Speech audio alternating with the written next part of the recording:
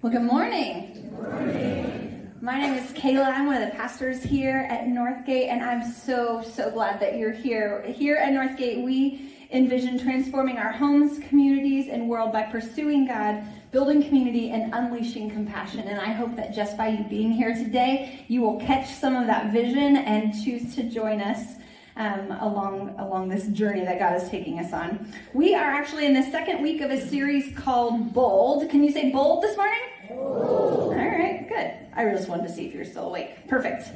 We're spending some time in the book of Acts, and we are looking to see what the what God did through this early church. Now, the book of Acts is in the New Testament, which is the second half of the Bible. It comes right after the Gospels, which are the stories of Jesus. So there's Matthew, Mark, Luke, John, and then the very next book is Acts. So if you want to turn to that today, if you have your Bible with you, you're welcome to turn there. And if you don't, don't worry, we'll have it up on the screen for you.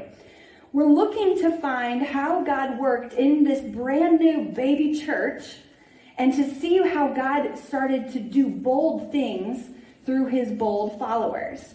We're going to have a conversation about real life, Jesus directed, Holy Spirit empowered boldness, the kind that will spark revival and transformation in those homes, communities, and world that we envision changing. So last week we learned through the book of Acts that boldness is behavior born out of belief.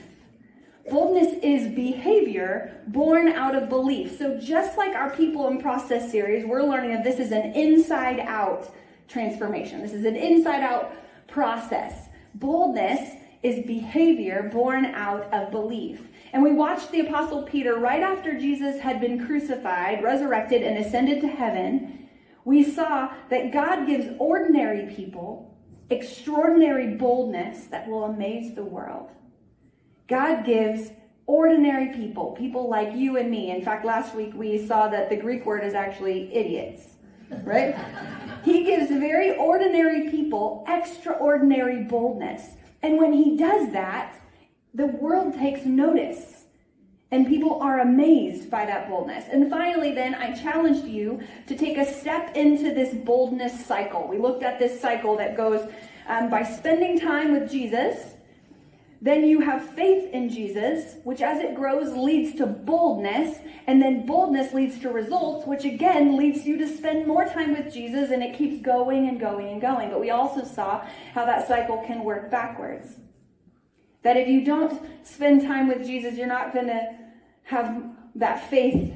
And if you don't have that faith, you're not going to have the boldness. And if you don't have the boldness, you're not going to see the results. But you can stop and step into that boldness cycle um, so that we can see those amazing results that God wants to give us. But we stated very, very succinctly that boldness is not actually the goal, that knowing Jesus is the goal.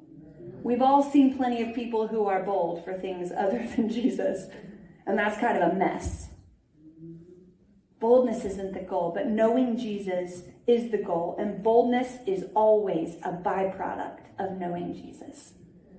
The more you know Jesus, the more you will be bold for Jesus. Well, so today we're going to be in the uh, book of Acts, chapter 4. So if you want to turn there, you are welcome to do that now. I want to talk to you today about prayer. We're going to talk about praying really, really bold prayers. Because if boldness is a byproduct of knowing Jesus, then prayer is an integral part of both. Because we know that prayer is a communication with God. That's simply what it is. It's a church word for communicating with God, talking to and listening to God. And so to know Jesus, there needs to be communication with him. And boldness comes alongside knowing Jesus. So prayer, communication with God, is also an integral part of boldness.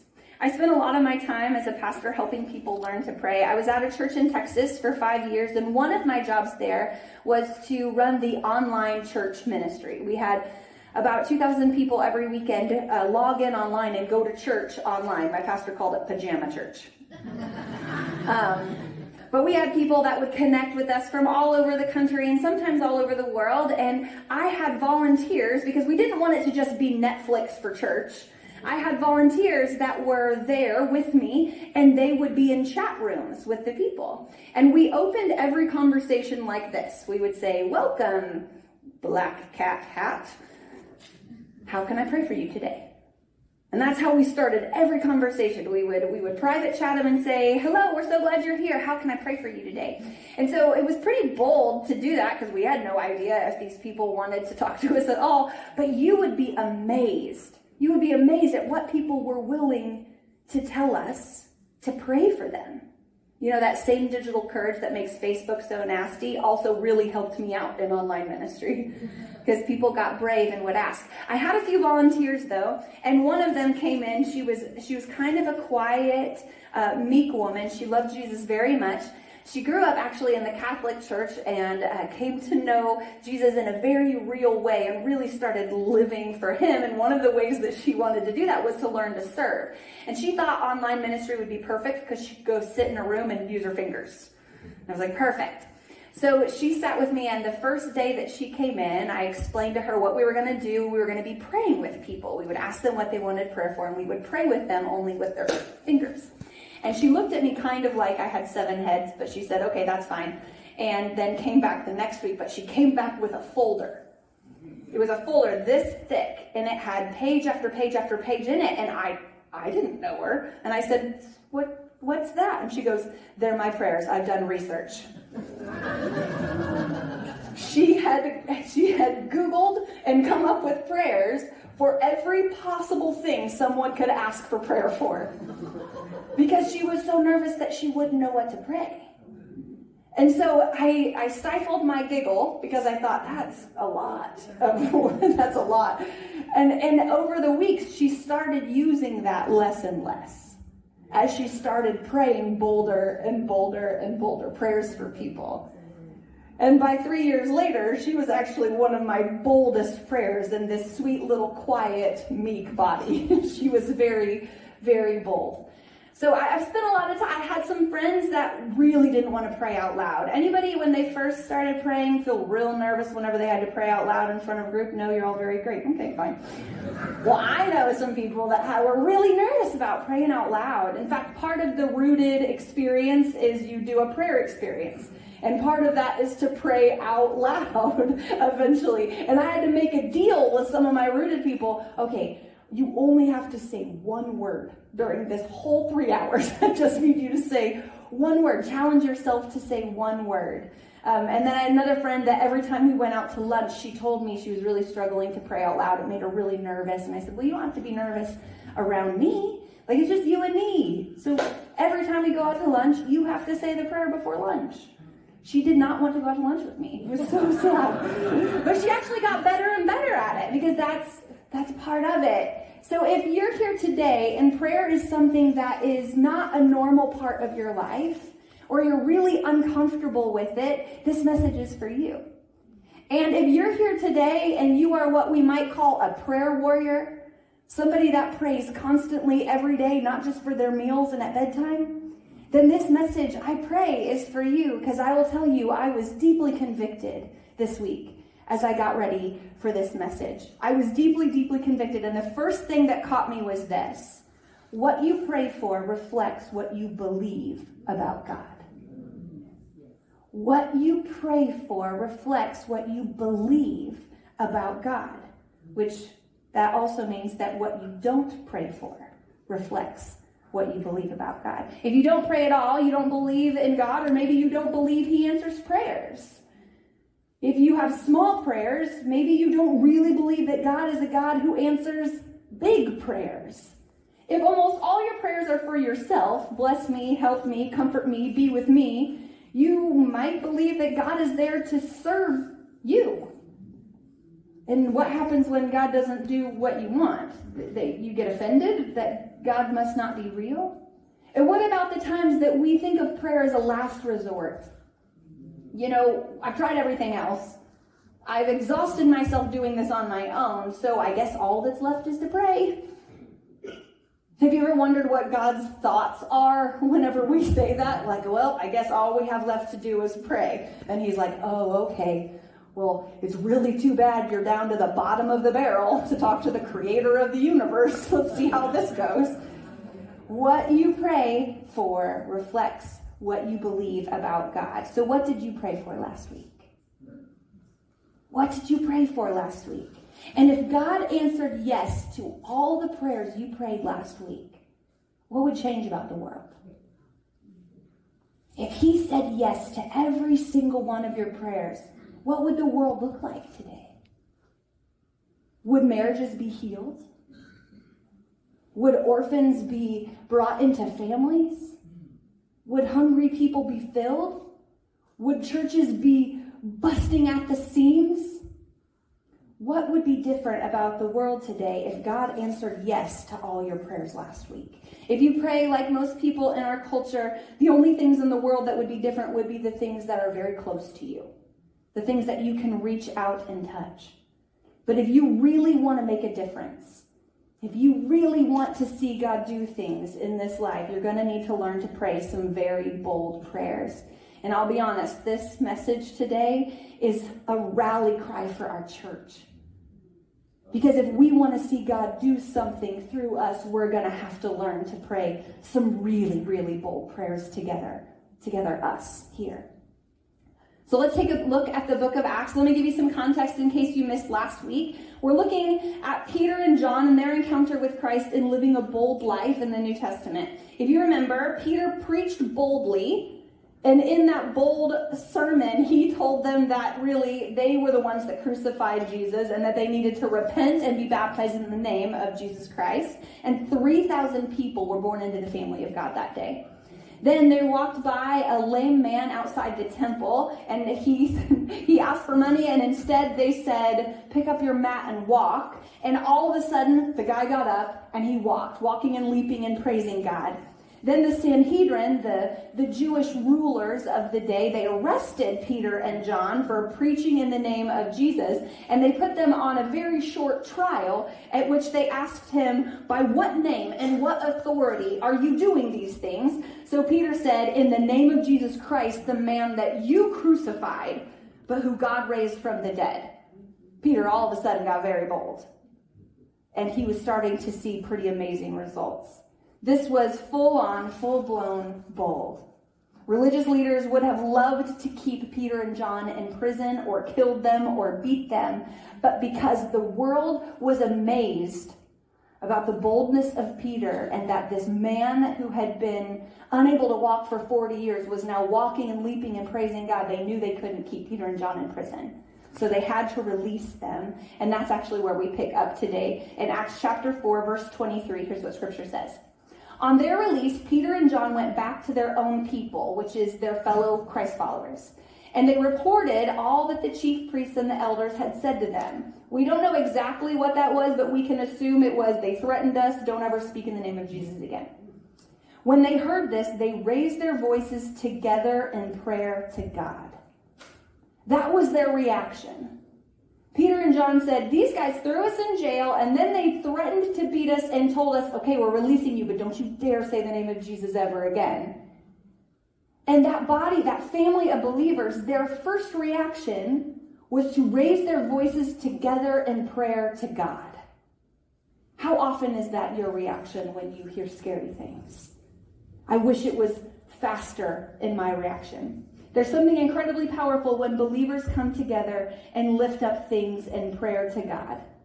There's something unbelievably powerful. We see it all throughout Scripture. And in fact, I mentioned Rooted before. One of the experiences you do in Rooted is you spend time in prayer together. You have a prayer experience. And when I would introduce this idea to our Rooted participants, I would say, and I, have done it at a few different churches, I would say, and you'll get to do a three hour prayer experience. Can I tell you what the room sounded like? Like this. and you can see it all over their faces. You can see, like, lady, I forgot to pray for my lunch. I cannot be praying for three hours. Are you serious? I'm going to fall asleep. This is going to be horrible. And spoiler alert, every single time after the prayer experience, people went, Wait, is that up? Are we done? Only three hours? And I'm like, huh, funny story. Right before this, you were super nervous.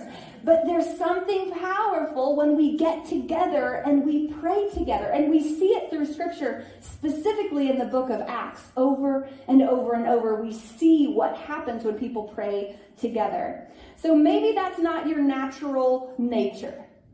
Maybe you're not like, oh man, I really hope they have a prayer meeting today. Really hope this one lasts five hours. Sign me up. Maybe that's not your natural state, and I get that. I do. But I truly believe that something incredible will happen when we pray with each other. You may not have a lot of faith for something, but whenever you show up to pray with other people, if they have faith for that, it's almost like we get to stand on their shoulders, borrowing their faith, and then it exponentially grows the faith of the group. There's something powerful about praying together. When you read scripture, there's power when believers come in agreement before God. And that's what was happening here. Under extraordinary persecution, they came, and we get to read what their prayer was to God. Verse 24, the middle of the verse, they said this Sovereign Lord. Now let's stop there because we need to understand that first word sovereign. Sovereign means supreme and ultimate power. God has supreme and ultimate power. So their first words out of their mouth in their prayer is, God, you are supremely powerful. You are ultimately powerful.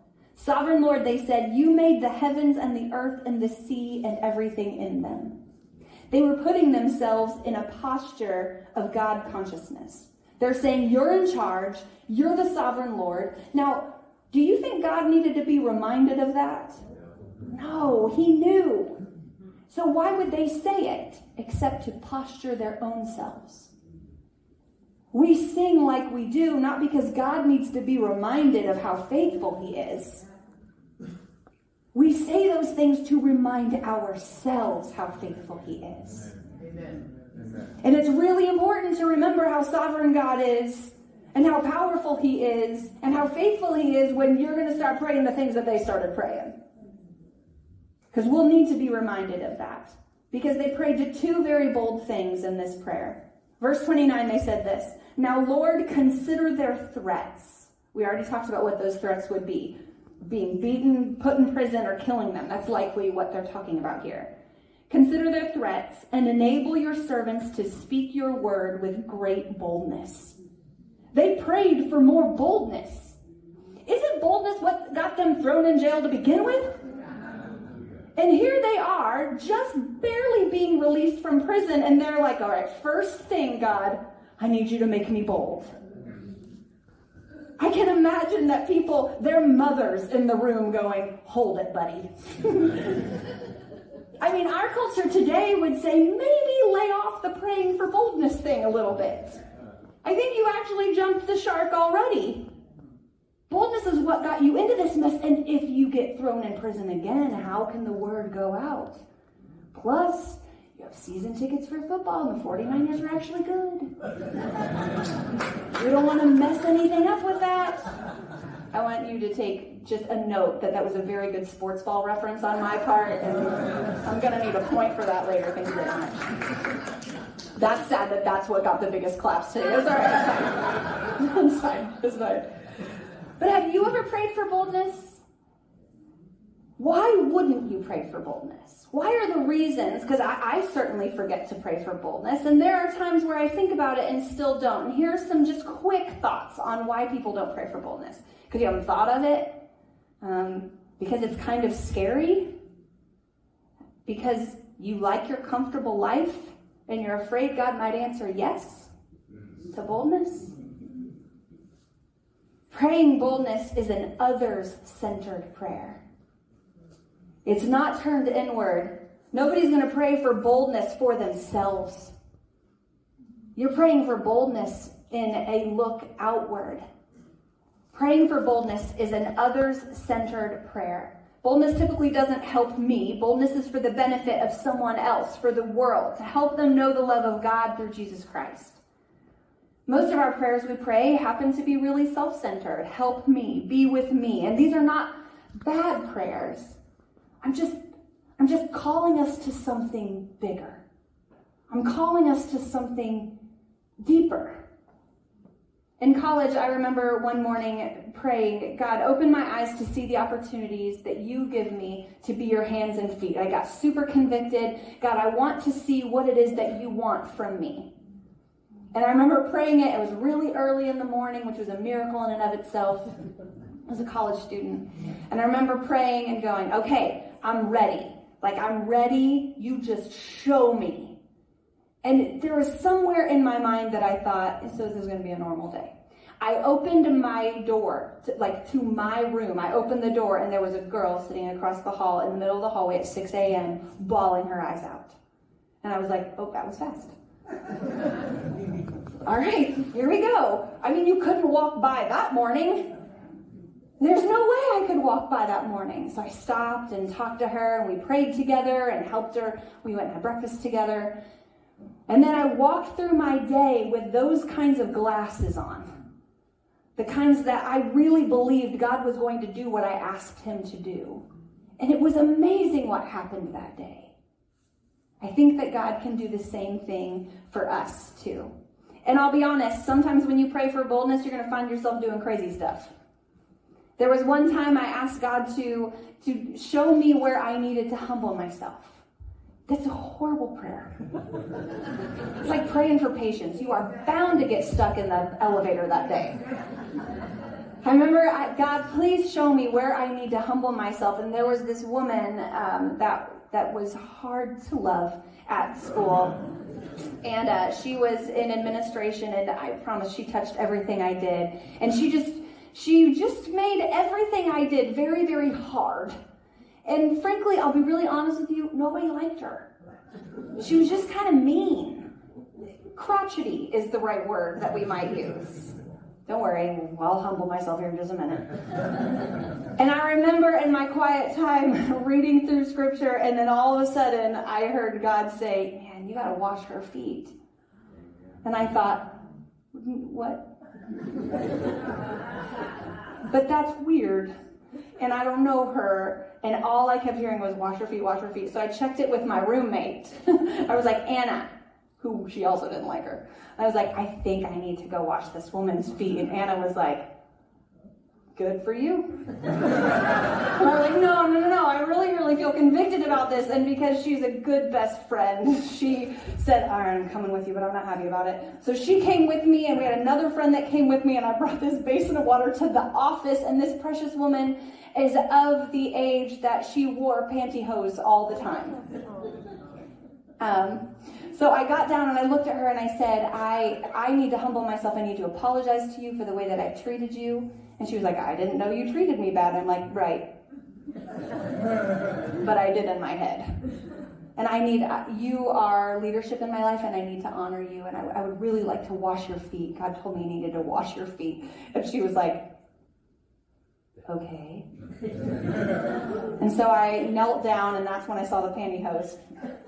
And I thought, well, I don't know what we're going to do. And I looked at her, and she was like, so I washed her feet with pantyhose on.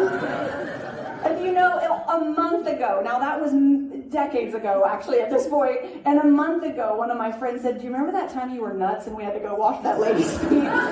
so when you pray for boldness, all I'm saying is be ready to do some crazy things. And people might think you're crazy, but I also know that by the end of the time that we were washing that woman's feet, there was not a dry eye in that office. God's Spirit was thick in that place because we were being boldly obedient to what He was asking us, even though it was a little bit crazy. So when you pray, use me, use me for your glory, make me bold, stir me up, give me eyes to see the needs for those that I that you want me to work with. Give me a heart sensitive to those who are hurting. Give me a prompting of the Spirit to minister to those who need you, even strangers. You pray and you watch as God will do something in your life and in your eyes and in your mind and in your heart that will stir you to boldness for His glory. Pray those things and see what He does. The second thing he prayed for first, he prayed for boldness, and then he prayed for miracles. It says, Now, Lord, consider their threats and enable your servants to speak your word with great boldness. They pray for boldness. And then verse 30, it says this Stretch out your hand to heal and perform signs and wonders through the name of your holy servant Jesus. And then here's what happened. After they prayed, the place where they were meeting was shaken, and they were all filled with the Holy Spirit and spoke the word of God boldly. Stretch out your hand to heal, to perform miraculous signs and wonders. They're praying big, bold prayers. They're praying for miracles, heal sick people, raise the dead, help us cast out demons, do miraculous signs, God. If you want to make a big and bold difference in this world, you pray big, bold prayers. If we want our church to do big, bold things for the kingdom, if we want to see his kingdom come through us here on this corner, on the corner of Valencia and 24th, then we will pray big, bold prayers here. Because what you pray for reflects what you believe in God about. Do you believe that he will still do those things? Do we believe that God is the one of the Old Testament, God is the God of the New Testament, and God happens to be the God of 2019? Yes, we believe that. And so we have to pray in that way too. You pray small prayers, you're believing in a small God. But here we're going to pray big prayers because we believe in a big God. You know, there are so many that pray, thank you for this day. When I was little, I would pray, thank you, Father, for this day. Thank you for mommy, daddy, Holly, Heidi, and Kayla. I, I tagged myself on the end of that. And then I would pray for food if we were sitting at the dinner table, and I'd pray for good sleep if it was at night. And those are good prayers. They also are prayers of a nine year old, they're small prayers. Pray for Aunt Sally's cat to come back. Pray for Uncle Tom's bunion, who's really bothering him. Praying for those small things are not bad because God cares about the sparrow, so certainly He cares about that. But sometimes I wonder if God is just begging us to pray for something big. If He isn't saying, guys, give me something good. Pray for something that can only be done if I move my hand. Pray for something that can only be explained as my hand moving and working in your life. Pray for that. But what if it doesn't happen? What if it what if he says no? Is that why we don't pray those? That's why I don't pray those. There are things in my life that I'm afraid to pray for. Because I'm afraid that if God says no, that my faith can't take it. So, are there things in your life that you want to pray for, but there's not a whole lot of wiggle room for God? Have you prayed those? Have you heard people pray, God, I want you to heal him and I want you to heal him now? And you're like, oh, okay. Not a lot of wiggle room here, God. I see people in the scriptures pray those all the time. I see people in scripture praying that the sun would stand still not a whole lot of wiggle room there. But you know, sometimes we pray that the sun will stand still and then it comes up the next morning. Sometimes we pray for these big prayers and God doesn't answer them the way that we think. That He doesn't answer them the way that we even ask Him to. And maybe it seems He doesn't answer them at all. And we don't want to be disappointed with God. We don't want to make God look bad. And maybe we don't want to make ourselves look bad. Because if we prayed that out loud in front of other people and God didn't show up, what does that say about me? We give God escape clauses. But I want to live with no fear. I want to I want to live a life asking God for anything because I have seen Him do things that are completely unexplainable.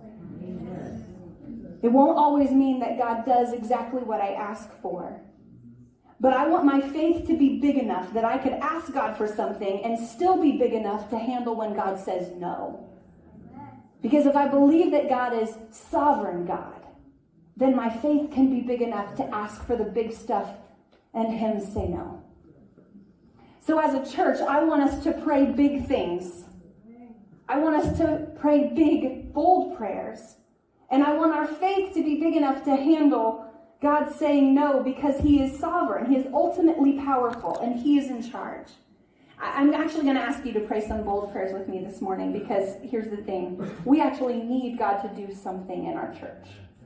We need Him to do some big things in our church. There's a legacy of faith here one that dates back almost 100 years.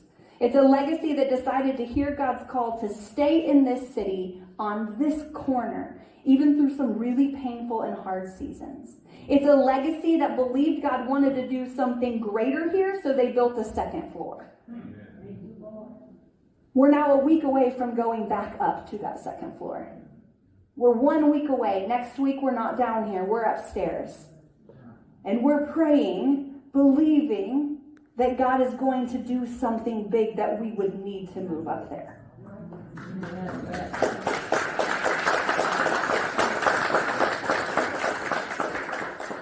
We're a month away from the beginning of the Christmas season here at Northgate. And to kick off that Christmas season on December 6th, we're going to put on our very first big event together over the decades. But if my research and history is correct, this one is going to be um, one of the biggest invitations, certainly. It's interesting, when I came to visit, actually before I moved here, just was coming to visit this place, I remember standing out on the patio and thinking, you know what this patio needs? a really big Christmas tree. And wouldn't it be cool if the Christmas tree was so big that we invited the whole neighborhood to come and be a part of a Christmas tree lighting? Wouldn't that be amazing? So, no lie, a couple weeks later, I was standing on the patio with one of you, actually. And I was sitting out here, and, and out of the blue, somebody said, You know, we used to have a Christmas tree on the patio, and we had a Christmas tree lighting. I was like, really? And I said, that's interesting. That, that's kind of my dream for that too. And they're like, oh yeah, we used to do it. I said, that's so interesting. And then I was talking to Megan, one of our staff people, and I was I was trying to um, well, I was trying to get her on board. And I was like, Megan, what if we had the first mission district Christmas tree lighting and we invited the whole neighborhood to come? And she was like, Oh, that's amazing. And I don't know if you know Megan at all. Some of you have had the chance to meet her. She comes over here once in a while, and she, her eyes just got big. And of course, she was decorating the whole place before we got done. And I thought, Now, how are we going to convince Larry? Larry's our senior pastor at Northgate. And I was like, all right, we're gonna have to wait till he's in a good mood. We'll go buy him lunch, and then I'll be like, so I want to buy a big Christmas tree, but I didn't have to. I was in a meeting with Larry about a week later, and Larry said, Okay, I have this crazy idea. and I was like, Okay, what is it? Knowing that maybe I could follow up my crazy idea with his. And he was like, I want to buy a 35 foot Christmas tree and put it on the patio. and I was like, That's an amazing idea. This is so amazing. And so I, I know it's silly because it's just a Christmas tree. But I really believe God is calling us to a Christmas tree lighting on our patio. Because there are coincidences and then there's that. And so we are. We're inviting about 109,000 households to come and enjoy our first annual Mission District Christmas tree lighting. And you'll start seeing on the back of city buses Christmas at Northgate. And we're going to show up, all of us, with hot chocolate and maybe some cookies and we're going to invite the community to come and celebrate with us the beginning of Christmas season. And then we're praying bold, big, huge prayers that they would come back and hear the gospel at one of our Christmas Eve services.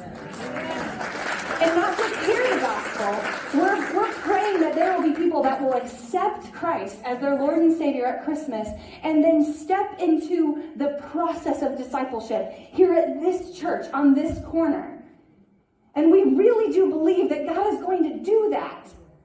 And so we really have to pray really big, bold prayers for that to happen because I'll be really honest, that's crazy talk, is what it is. It's crazy talk unless we just happen to have the creator of the universe, the most powerful sovereign God standing behind us. Amen. That we know with a flip of his wrist, he could make that tree 60 foot tall. We're not praying for that. 35 foot is tall enough. So we're going to pray that today, and in fact, we're going to we're going to spend some time together praying. So if you wouldn't mind getting yourself into a posture of prayer, whether you want to stand or kneel, whether you want to sit right where you are and put your hands up or out, or however you want to pray, we're going to start praying.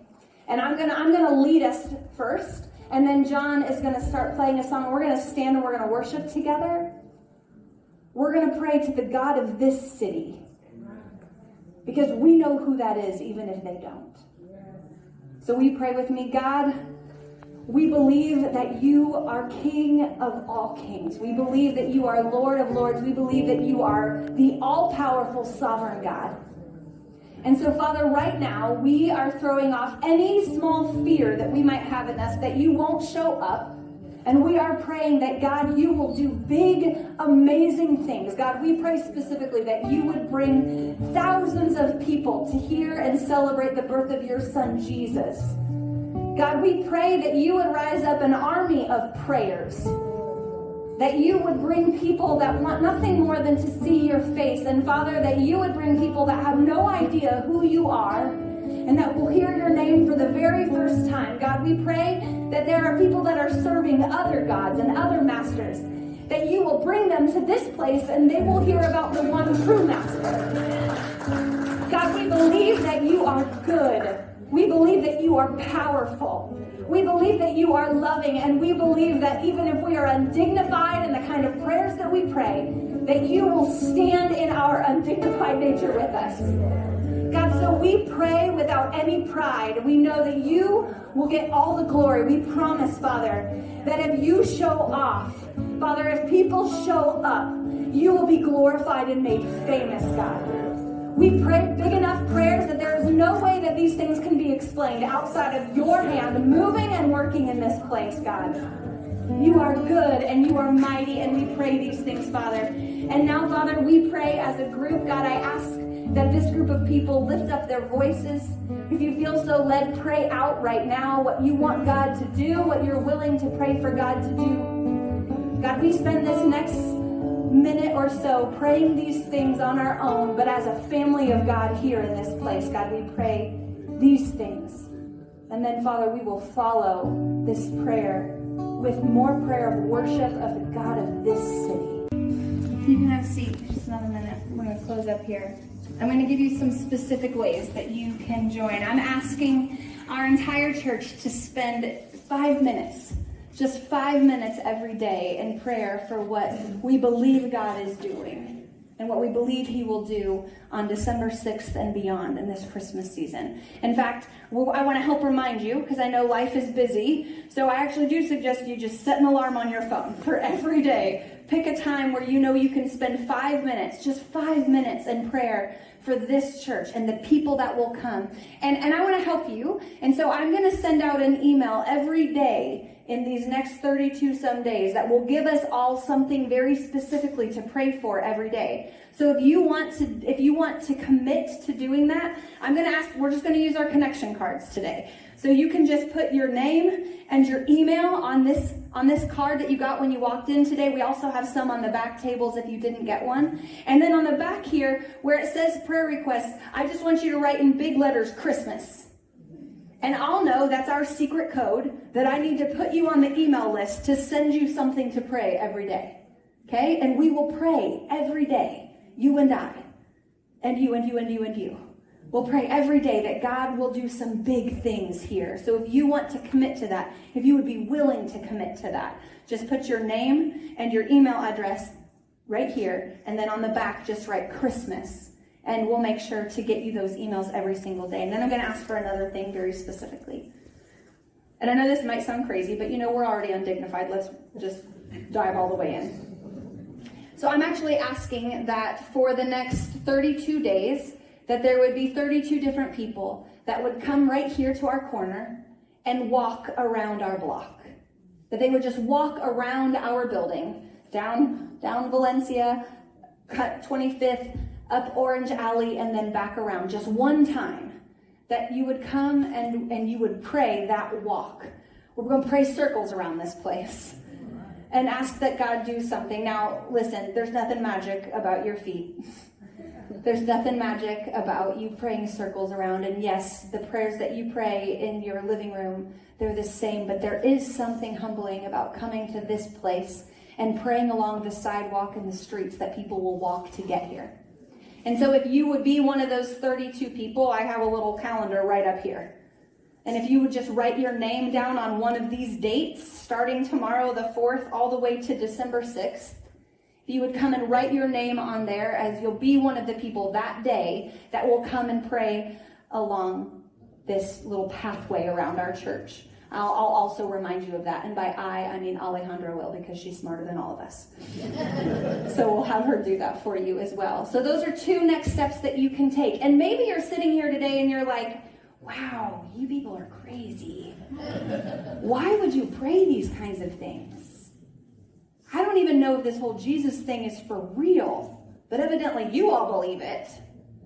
If that's you and you may, you want to take a step into this journey, maybe you're feeling a tugging on your heart like, man, they sound crazy, but I kind of want to be crazy with them.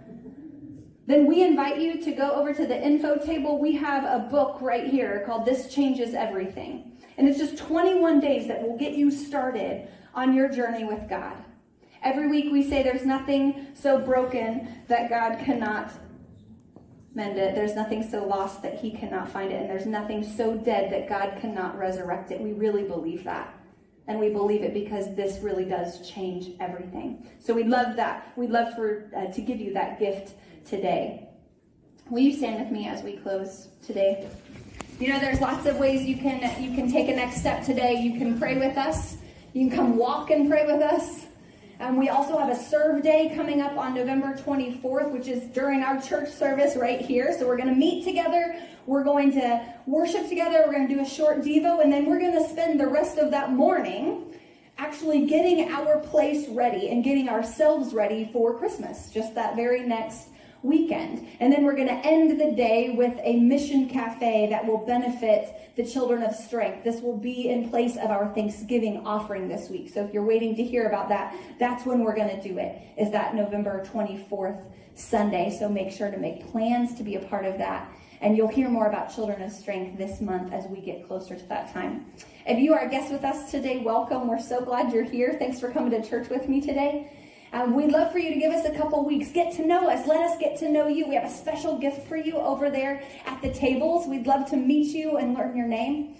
And thank you for your generosity. It's because you give that God can do some amazing work here on this campus, in this city, and frankly, your generosity reaches all over the world. So thank you for being a part of that. And now we're just going to end like we do every week with a blessing. So you just put your hands out like this in a posture of receiving. May you pray with boldness this week. May you pray big, bold prayers that God Himself can answer and no one else. May you live with your eyes wide open to see the opportunities that He's putting right in your path. And may we be a church that looks a little ridiculous because of the kinds of prayers we pray and the kinds of prayers that God will answer. I love you guys. I'll see you next week.